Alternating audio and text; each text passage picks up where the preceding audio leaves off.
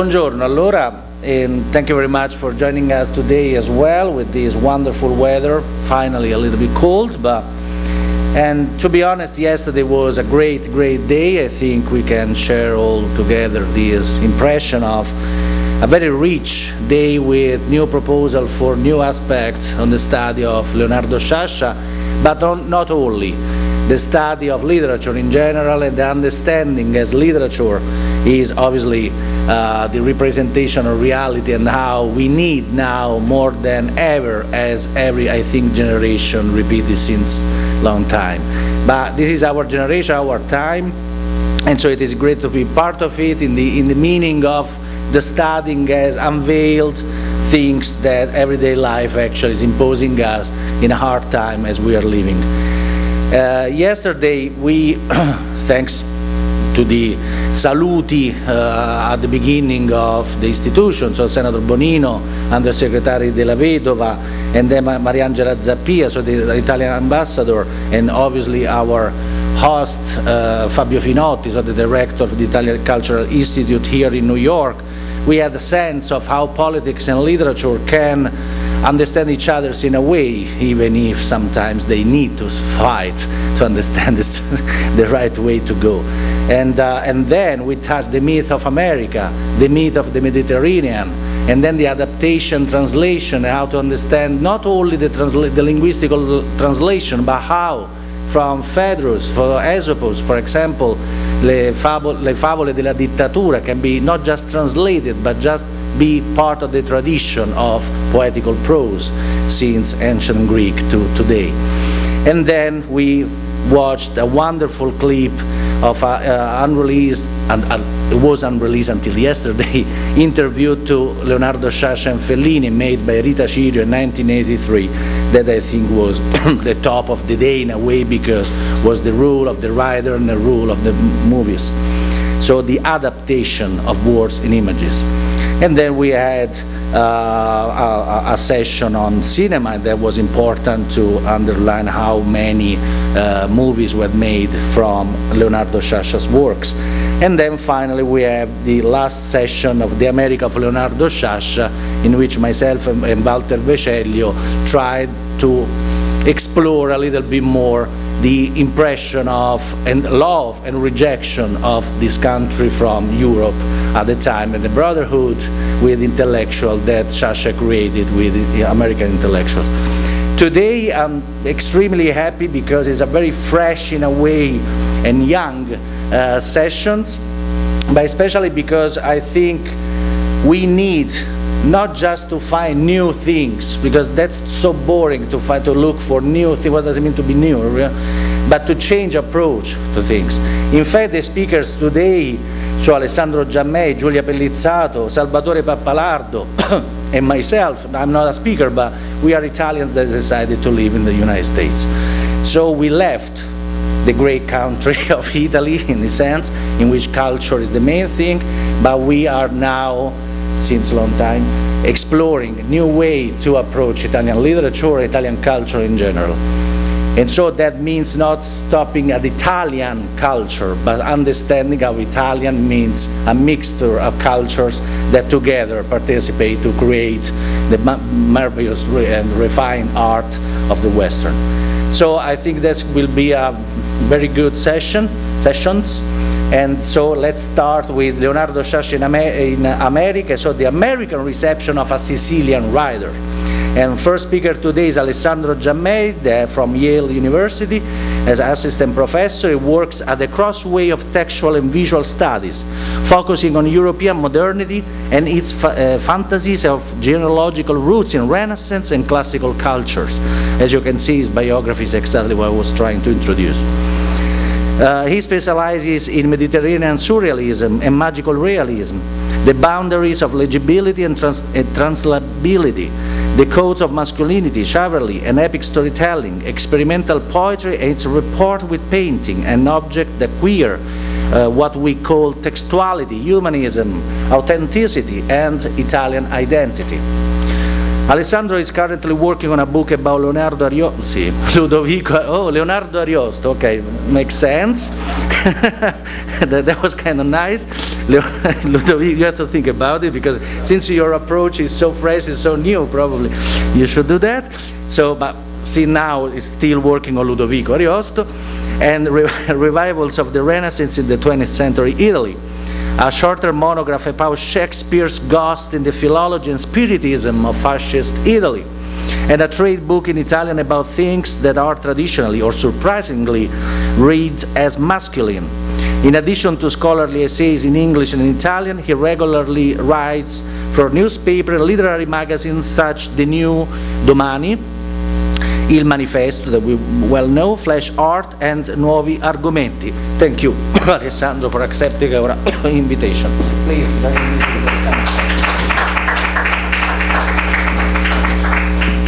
Thank you so much, Valerio. Okay, good morning. Ecco qua. Leonardo Ariosto is excellent. Also Ludovico Sciascia would be excellent as well. So like most Italians of my generation, I have read Leonardo Sciascia for the first time in high school. Not as part of Italy's rather dusty national curriculum, which spent incomparably more time on medieval and early modern poetry rather than on modern and contemporary fiction. I read Sciascia, we read Sciascia, I would say, as, a, as teenage students during the long summer breaks between the school years, along with those late 20th century writers such as Calvino, Pavese, Ginzburg, or Morante that teachers typically used to assign, as we say, per le vacanze.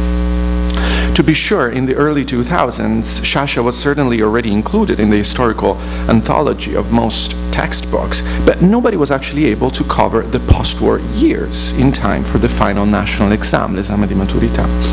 This meant, however, that while we got to know more chronologically remote authors only through mere excerpts of their works, along with their biographies and reconstructions of their historical contexts, Sciascia was one of those that came to us in the form of entire, complete, self-sufficient books. I believe that the myth of Leonardo Sciascia in Italy as a public intellectual able to write compelling literature more writerly than Pasolini and more clearly, openly politically engaged than Calvino for my generation is really rooted in the fact that people like me, people like us, had the opportunity to read him per le vacanze at the same time for school and outside of scholastic rituals and textbooks. I would like to thank Professor Finotti, Professor Capozzo, and the Amici di Leonardo Sciascia for this opportunity to immerse myself again, after almost two decades, in that very first experience of scholarly reading with no safety net for le vacanze. Returning to Sciascia's novels, and in particular to Il giorno della civetta and Todo Modo, which are my favorite, uh, I realized that so many specific references to Italy's recent history and postmodern culture were completely lost on me as an adolescent reader. And that Sciascia's erudition, his direct dialogue with an incredible archive of European auctoritates in the fields of philosophy, literature, and art, went over my head as a high schooler. To me, Sciascia was a master of delightful description and frustrating enigmatic plots able to give me the impression that there was a political, aesthetic, and philo philosophical genealogy at the root of the beautiful and deeply unjust nation in which I was growing up. No more than an impression, though. And now that I have the tools to turn that impression into consciousness and even scholarship, I feel the need to resist the impulse. I find myself less curious about demystifying my own myth of Sciascia through the substance of his references and ciphers, and more curious about other, radically different experiences of that same myth. In other words, I am curious about what in Italian we call la fortuna di Sciascia, where an author like him was probably never assigned as a summer break reading, and where he could not provide a sentiment of the nation suspended between literature and politics. That is why this morning I'm going to talk about Sciascia's American myth, and in particular, I will offer a glimpse into his Italian American. As I imagine most people in this room already know, Sciascia is a protagonist of virtually any book in English about, um, about the cultural dimension of the so-called Italian-American experience. Mostly, he is quoted on the topic of Sicilianness, Sicilianità, on which he so eloquently wrote, mixing a vibrantly sentimental poetics of the genius loci with very solid scholarly readings that span from medieval Arabic poetry, as we know, to Verga and Pirandello. Sicilian American authors and scholars at the intersection of Italian and ethnic studies tend to refer to Sciascia more often than to other renowned literary masters from the island, such as Pirandello and they often mention his work, including his novels, not as a primary source, but rather as an archive of quasi-anthropological statements on Italianness and Sicilianness as transnational and trans-historical conditions. The occasion for today's talk comes from a famous American book of Italian American studies, a scholarly book that has had a significant popular appeal, appeal and that resorts to Sciascia's authority in an interesting way.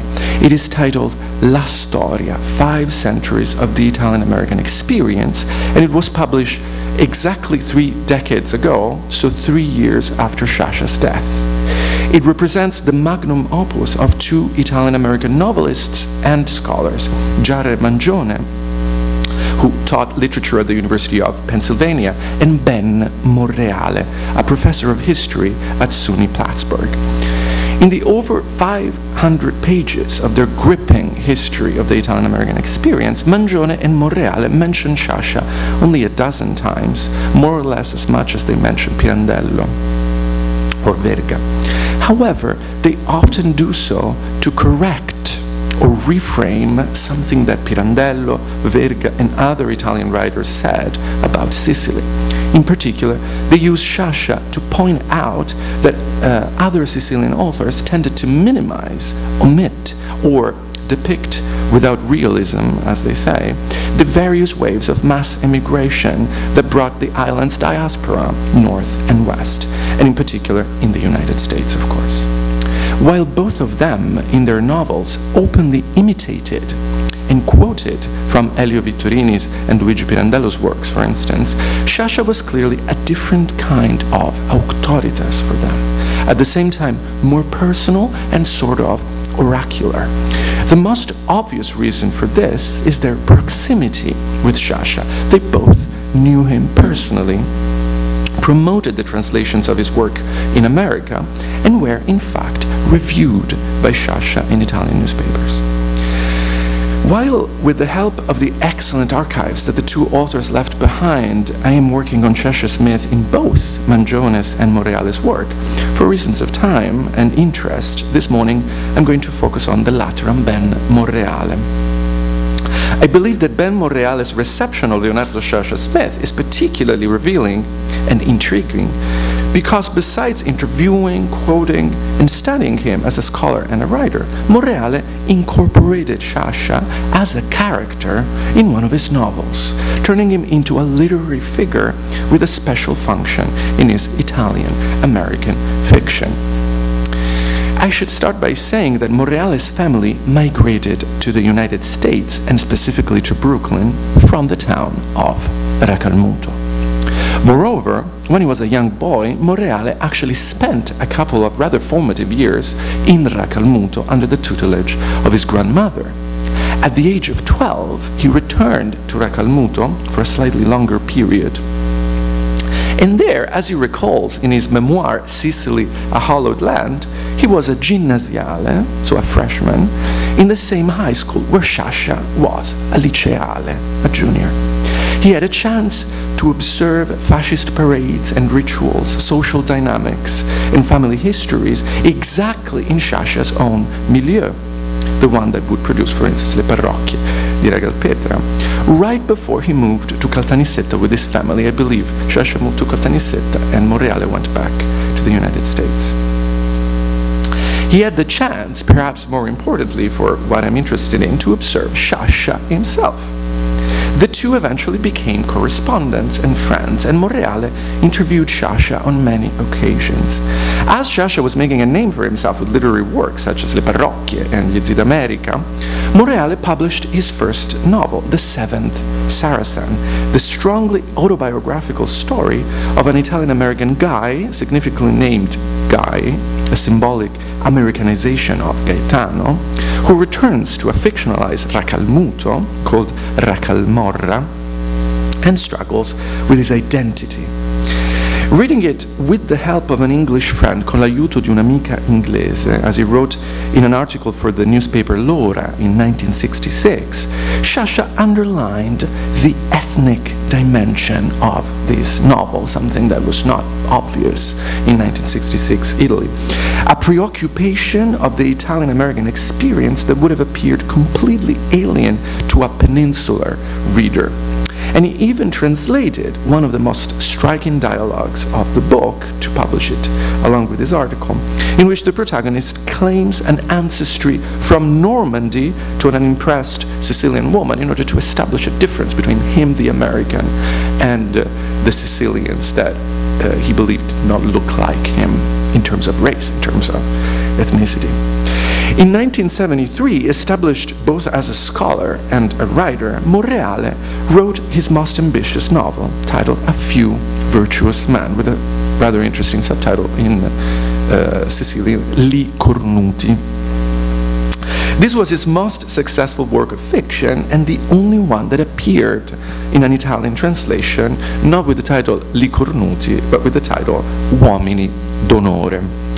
As this formula suggests, it is a novel that investigates, through the point of view of a local priest named Giuffà, for obvious reasons that we know from yesterday, the phenomenon of the mafia, on which, of course, Sciascia at that point was one of the most credible and refined literary authorities and political authorities.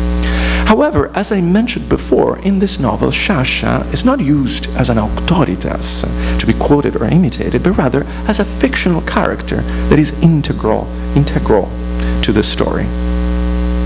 Fred Gardaphé and Chiara Mazzucchelli, among others, have underlined the special brand of realism and claim of authenticity that Morreale placed at the root of A Few Virtuous Men, Li Cornuti. In a moment in which American audiences were captivated by highly visible aestheticizations and even fetishizations of the mafia, of its affects, and of its performances of masculinity in particular, Morreale stripped the aura of the American gaze from this theme and from this uh, topic. It was Sciascia, after all, who noticed how the aesthetics of the gangster had more to do with the return of a repressed archetype of the American crooked politician, he talks about Nixon, rather than with the representation of actual wise men of Italian descent. Morreale's uomini d'onore are slender, soberly dressed, and characterized by what a Renaissance humanist would have called sprezzatura. They minimize their power, their influence, and the effort that they're willing to make to keep the community in check. We receive these realistic figures as readers mostly from the point of view of a local priest, as I was saying, who harbors pro-fascist sentiments and is ambivalent towards the main uomo d'onore, whose name is Don Raffaele Petrocelli. A sort of descendant uh, of Manzoni's Don Abbondio, this protagonist of Morreale's novel offers us an, an, ironic perspective to understand from a non-peninsular point of view and a non-Italian point of view the effect that competing forces of power and control had even on the educated citizens of Italy and of Sicily in particular as a liminal space. However, the priest is therefore inadequate to express the author's more sophisticated take on the society and culture that he observed firsthand in his adolescence and studied, uh, studied as a historian. And that is why Sciascia's myth assumes a crucial literary function in A Few Virtuous Men. The most charming character of the novel is Nardu Pantaleone, a local historian and writer who escapes the horrors of fascism through literature. Nardo is, of course, a nickname for Leonardo, not Leonardo Ariosto, but Leonardo Sciascia, one that Ben Morreale in his memoir attributed directly to Sciascia, stating that everybody in Racalmuto called the Sciascia Nardu. And that Pantaleone is a romanticized version of Sciascia is made evident by many details, including his predilection for Dostoevsky, Voltaire, and Poe, his relationship with winemaking, and his erudition about the Mediterranean ancestry of Sicilian language and literature. Nardo is a crucial figure in the economy of Morreale's novel because his wisdom, completely antithetical to that of the wise man that he fully understands and despises, is the key through which readers can overcome the mystique of the mafia culture. Both the extra-diegetic mystique in their horizon of expectation and the intra-diegetic one built by Don Petrocelli's performance and perception in Raquel Racalmorra. I'm going to conclude my talk on just one example of how this fictional version of Leonardo Sciascia provides depth to Morreale's narration, allowing him to address an Anglophone audience with philological acumen. In one of the most pedagogical passages of the book, Morreale explains that Don Petrocelli's approach to reality is based on one particular world, one that synthesizes the entire normative structure of the mafia culture. The word sistemato that he uses in English, also in the American edition. Morreale does so through the intradiegetic authority of Sciascia. On winter nights, he writes, Nardu, as everyone called Pantaleone, would talk about the genius of the Sicilian language, its obscenities against the Virgin, and the words sistemato and cornuto. End quote. Immediately after, in a rather Sicilian use of indirect discourse, he explains that the word sistemato is close to the genius, uh, is closer to the genius of the Sicilian language than the word omertà. I quote again, as some would have you believe the word omertà might be, the word sistemato is closer to the genius of the Sicilian language. He explains that in Sicilian mentality, one is sistemato when one is well off, integrated, put together. And that when someone like Don Petrocelli states that a man must be sistemato, he meant that the man should be put in his place and even eliminated if he resists his natural niche in this world. To quote again from the text, it was often asked of a man who returned from America, How are you sistemato? What is your relation to the whole? What is your place? To say of a man that he was malo sistemato might mean that he was uneasy in this world. Don Raffaele Petrocelli believed more than anything else in the world that things and men had to be systemati in their place, that the forces in the world, the sinews and nerves of men that kept them in their places, held them together really were property and women. End of quote. At the beginning of this whole explanation of the philosophy of Sistemato, the character of Nardo Pantaleone connects this world to its Greek origin, its supposed Greek origin, stating that it originally used to refer to togetherness, to interrelatedness, to a system of relationships.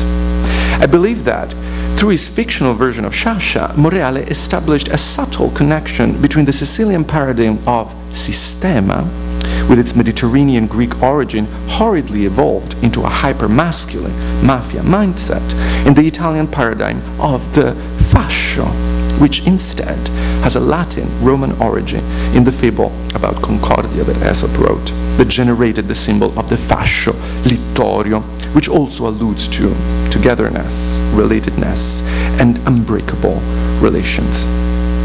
Considering what is almost certainly about to happen this very weekend with the Italian elections, this 50-year-old subtle link between fascism, mafia, and the oppressive mentality of sistema and sistemato assumes a sinister and timely aura.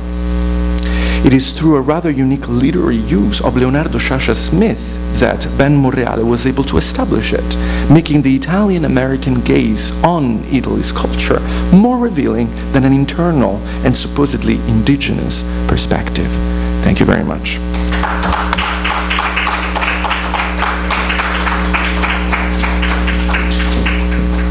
Thank you very much, Alessandro. And starting yesterday, talking about the myth and the um, reception of the author. Now the transformation is done. Now he's a, a literary character. So that's why I, I start this session saying there is something new and something really in depth that is changing the perspective of the studies. Because when a, a writer becomes uh, a, a, character himself, there is really a transformation, a relationship between human being that's really strong and that has to be investigated as you're doing. So thank you very much.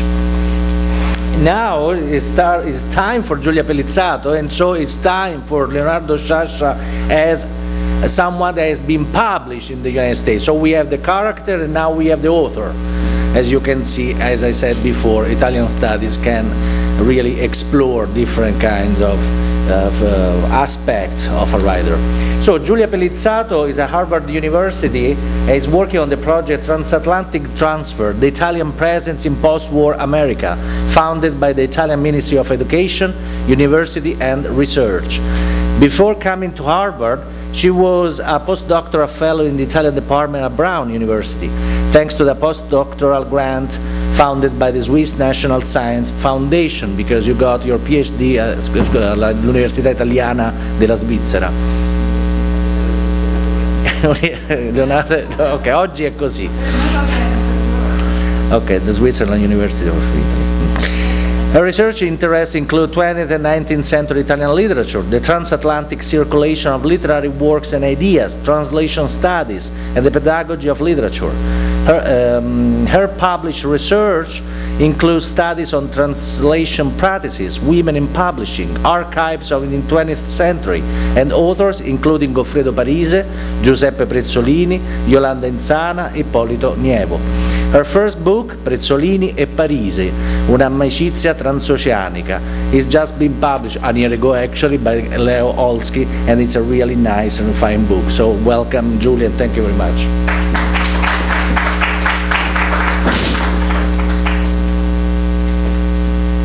Thank you so much, Valerio. Thanks to everyone here. Um, so I need to set up a little bit.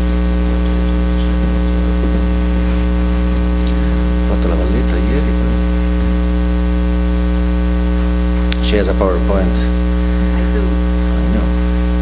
but I can do that.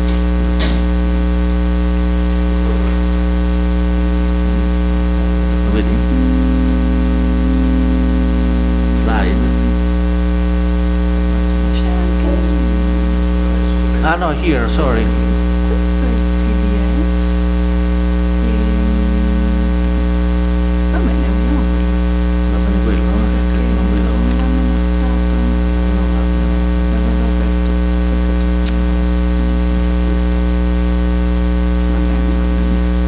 Sorry, we are just creating a suspense. Actually, it's made for you. To...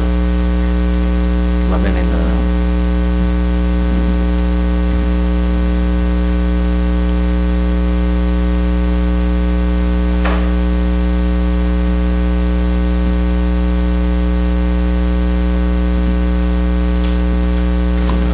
Sì, sì, va bene, sì. Uno screen, forse, uno screen mode. Benissimo. Beautiful. okay. Vediamo. I have this policy of basta carta, so for this new year I vowed not to print. and And so, um, again, many thanks to Valerio Capozzo, to the Associazione Amici di Leonardo Sciascia, to the Istituto Italiano di Cultura that is hosting us, and to the Committee for the Centennial of Leonardo Sciascia's birth for their generous hospitality and for creating this occasion for scholarly as well as passionate exchange among readers of Leonardo Sciascia. And also thanks to my brilliant colleague, uh, Alessandro Giammei, for opening this panel in such a compelling way. So, uh, from my part, I would like to focus on the reception of Leonardo Sciascia's works during the earlier decades. So, if we think of when the first book by Sciascia translated in the US was issued, and today the first half, basically. Uh, um, because I think it illustrates the tensions, the changes, and the mythologies that are involved in the creation of Leonardo Sciascia's image in the United States. Um, so today, Sciascia is considered uh, one of Sicily's most celebrated public intellectuals, and I'm quoting here from Jhumpa Lahiri's preface to Sciascia's story in the most recent collection of Penguin Italian short stories. And yesterday we heard that um, probably we'll have a new wave of Sciascia's translation soon. but for the moment, I quote from the last wave of Sciascia's editions in the US, uh, the New York Review of Books reprints that date to the early 2000 years. Just to understand who is Sciascia for them. Aha. Okay. So, um, William Simone Di Piero, who is uh, another US based writer and translator, introduces Sciascia to new US American readers of To Each His Own in this way. He says that Sciascia used storytelling as an instrument for investigating and attacking the ethos of a culture which he believed to be a metaphor of the world. And according to Di Piero, Sciascia's major novels are about political morality, though they are not political in content or moralizing in intent. Each is a genre piece, a detective story, but of an odd kind. When all clues are gathered and aligned, they lead to a wrong solution, or the mystery proves insoluble because practically everyone involved, except the investigator, is duplicitous. Can you hear me? No. Okay. So we heard it time and again yesterday, and we find it here as well. So Sciascia's game with the reader's expectations, the odd nature of his detective stories, are clarified upfront by Di Piero. And this is because the tensions between the reader's expectations, or we could call them their horizon, call it the, their horizon of expectations, if we want to use Hans Robert Jauss's terminology. Uh, so the tension between these horizons of expectations and the ways in which Sciascia plays with the features and cliches of the giallo uh, genre story characterizes the decades I'll be talking about today. Uh, I think James Marcus encapsulated these tensions yesterday by saying that Sciascia did not fit into the categories of US American mass readership. And in the context of our US based research group working on the reception of Leonardo Sciascia in the US, I investigated the transatlantic networks and mediators who brought Leonardo Sciascia's books to US American readers. So I carried out a first portion of my work studying the archival holding at the Harry Ransom Center in Austin, Texas, uh, which hosts the archival papers of Knopf, Sciascia's first publisher in the United States. Um, this first part, which I presented in December 2021 at our virtual session hosted by the Istituto Italiano di Cultura in San Francisco, uh, has to do with what preceded the publication of books like Mafia Vendetta, The Council of Egypt, and Equal Danger. I'll tell a bit more about this in a minute. And for this presentation, which I half jokingly titled Becoming a Leading Writer in One Way or Another, the reception of Leonardo Sciascia within uh, the US, uh, I want to focus on what accompanied and followed the publication of Sciascia's books in the Anglosphere, particularly in the US. So this time my work includes uh, hundreds of texts from digitized newspapers and journal databases uh, with book reviews, advertisement, paratexts of various kinds, uh, lifestyle journal articles with some form of distant reading with which I'm experimenting. Uh, so to well-versed experts of Leonardo Sciascia, like you all are, some of these texts uh, would probably look plain, sometimes maybe dull, and in some cases even unspeakable, if I may borrow a key term from our presentation for this colloquium. But as a matter of course, many of these texts are a bit flat in comparison to Sciascia's compelling writing, of course.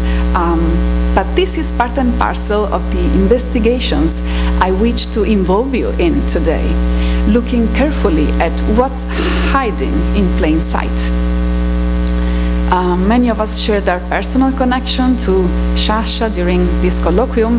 Um, I also wanted to share that during the past few years, what led my research was an exploration of how people understand literature, the uses they make of it, and the meanings they attach to it the translations panel's verdict yesterday that in general it's better to translate dead authors shows something that can be forgotten sometimes. Um, despite copyright laws, we could say that texts belong to those who read it. So this has implications and consequences on the methodologies we use to study literary texts.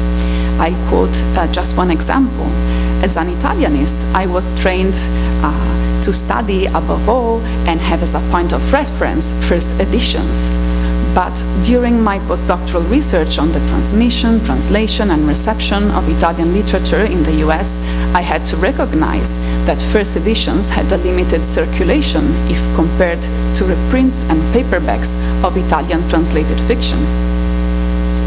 So the metamorphoses generated by translation and reception in a new cultural system, such as Italian literature in the US, offer exquisite opportunities for examining the negotiations of meanings and the understandings and the compelling misunderstandings fostered by translation.